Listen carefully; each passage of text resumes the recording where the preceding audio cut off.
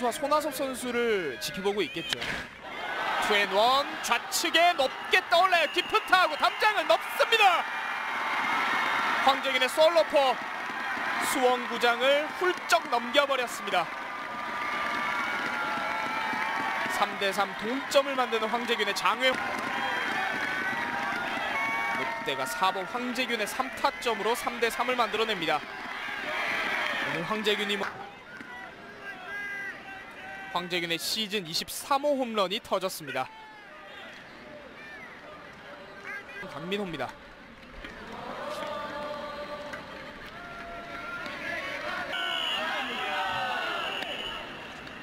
네, 몸 쪽에 약간 높은 공이었는데 제대로 감아 돌렸어요.